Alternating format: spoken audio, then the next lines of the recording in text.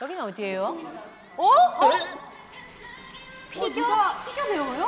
네. 유주 피겨 스케이팅이에요?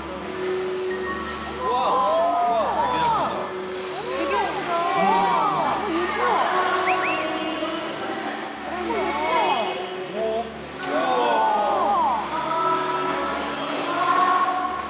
홀리. 혼자서 놀고 있잖아 저렇게. 우와.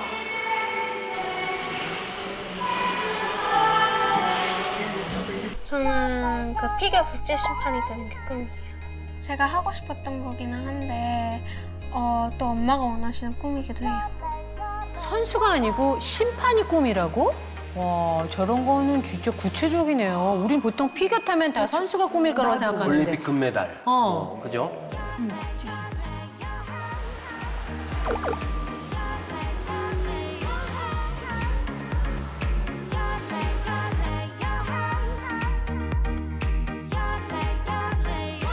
아니, 이렇게 항상 연습할 때마다 따라가세요?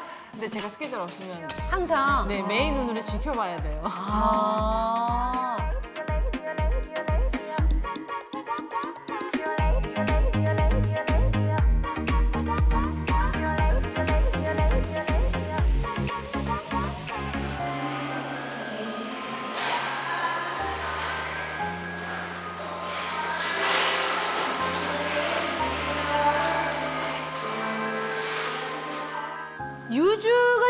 어떤 계기로 피겨를 시작하게 된 거예요? 네, 그냥 저랑 같이 주말에 이렇게 타다가 취미로? 네네네, 아, 엄마가 먼저 하셨구나. 그 저도 그냥 취미로. 네. 취미로다가 유주가 악셀 뛰고 싶어요 해서 악셀을 뛰려면 이게 악셀이 뭐예요?